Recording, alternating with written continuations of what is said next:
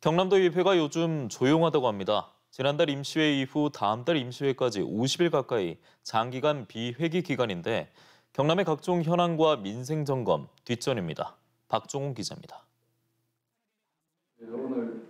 박완수 도정들로 처음 열린 도민회의 자리. 각종 민생 관련 도민 제안들이 쏟아집니다.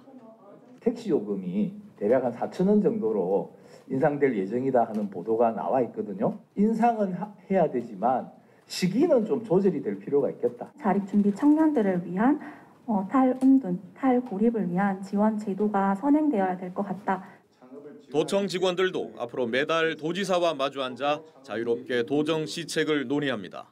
시군별 도민과의 대화에서 쏟아진 지역 현안과 대통령 주재 중앙지방협력회의에서 발표된 50여 개 지방 이양 과제들, 여기에 경남과 부산의 행정 통합을 위한 실무 회의도 시작됐습니다.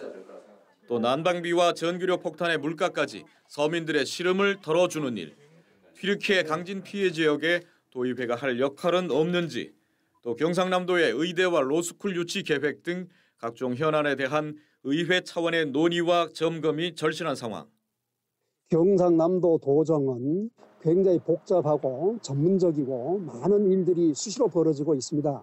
그렇기 때문에 도의회가 거기에 항상 대응해야 되고 경남도의회는 지금 무엇을 하고 있을까?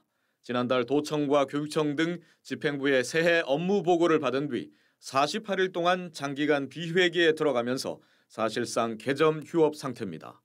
몇몇 의원들이 개인 의원실을 드나들 뿐 다음 달 중순에서야 올 들어 두 번째 임시회가 열립니다. 그마저도 국민의힘 전당대회 등을 이유로 당초 열흘간의 회기가 8일로 단축됐습니다.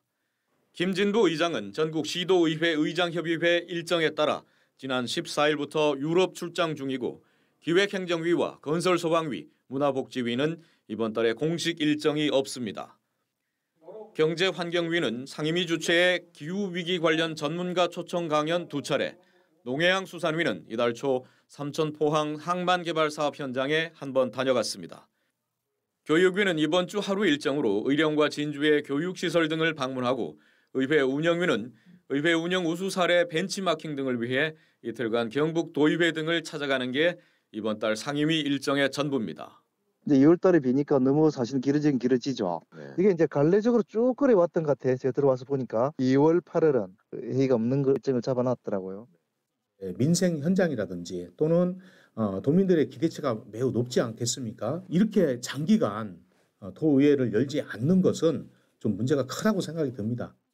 경남도의회는 의원 정수로는 전국 17개 광역시도의회 가운데 경기 서울에 이어 세 번째로 많지만 경남의 현안과 도정을 점검할 공식 회기 일수는 최하위 수준입니다. 경남도의회 연간 회기 일정 전반에 대한 점검이 필요한 가운데 도민만을 위한 의회다운 의회의 모습을 보여주겠다던 다짐이 무색해지는 2월입니다. MBC 뉴스 박종웅입니다.